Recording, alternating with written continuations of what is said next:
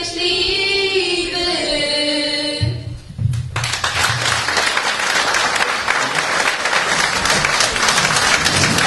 że możemy być spokojni o przyszłość tej gminy.